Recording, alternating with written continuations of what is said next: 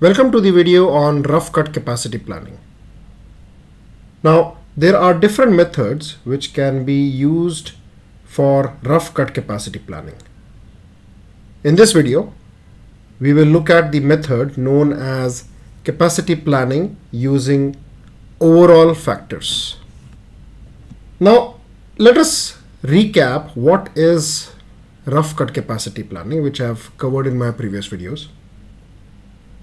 Basically after developing a prospective master production schedule we need to check if the MPS is feasible in terms of the available resources like labor, warehouse, machinery, supplier, capabilities, etc. This process is known as the rough cut capacity planning as it gives only a rough approximation of the actual resource requirements in terms of capacity. Now let's consider this as our prospective MPS. Now there are two products on the master schedule X and Y and they are produced by three work centers called M1, M2 and M3. Now in order to produce one unit of X The standard hours required is 1.557. So let's say hours per piece. So for X it is 1.557 and for Y it is 5.331. Now what we have been given is that in week 1 10 units of X are to be produced. In week 2 10 units. In week 3 15 and so on.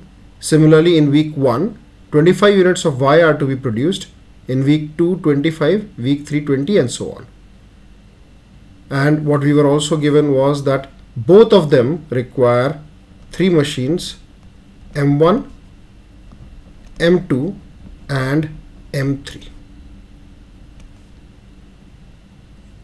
So we have been given that each unit of X requires 1.557 hours to be produced totally right so so basically 1.577 hours considering the time required for M1 M2 and M3 and we have been given that in week 1 we have to produce 10 units. So now let's find out the total hours for each product that is required. So for week 1, X is required to be produced in 10 numbers and each unit requires 1.557 hours.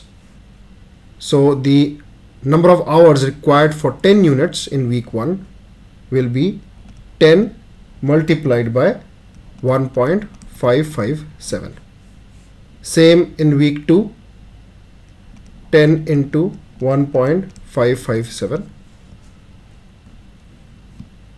same for week 3 15 into 1.557 for week 4 again 15 into 1.557 and week 5 also 15 into 1.557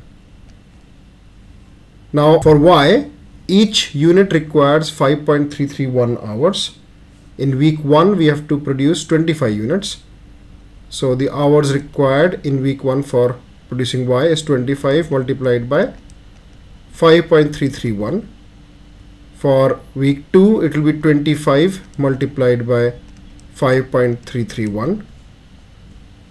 In week 3, 20 multiplied by 5.331 in week 4 20 multiplied by 5.331 in week 5 25 multiplied by 5.331 so let's now calculate these numbers so basically 10 multiplied by 1.557 will be 15.57 again 15.57 so as you can see I have noted down these uh, numbers. So what these numbers are basically for each of the week how much total time is required for each product to be produced that means how much time each of these products is going to be utilizing on these three machines M1 M2 and M3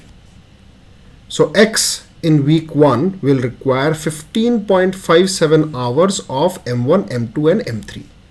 Similarly, Y in week 1 will require 133.275 hours of M1, M2 and M3. Now, since both these products use M1, M2 and M3, let's total up the hours required on M1, M2 and M3.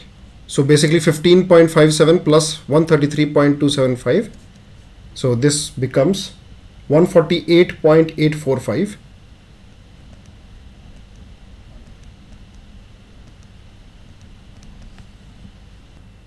So as you can see, I have totaled up the number of hours for all the subsequent weeks as well. Now we were told earlier that both these items go through three machines that is M1, M2 and M3. Now we have also been given that 20% of the time of any of these products is spent on M1. So 20% is spent on M1. 45% is spent on M2 while 35% is spent on M3. So let's understand this further. So let's say this is your machine M1, this is M2 and this is M3. Now, if x has to be processed, so one unit of x comes to m1, here it spends 20% of its total manufacturing time. Then from here it goes to m2, here it spends 45% of its manufacturing time. Then it goes to m3, it spends 35% of its manufacturing time and is finally converted into the final product. So same is the case for X as well as Y. Now earlier we had found out the total number of hours required to produce X and Y in each of these periods utilizing M1, M2 and M3.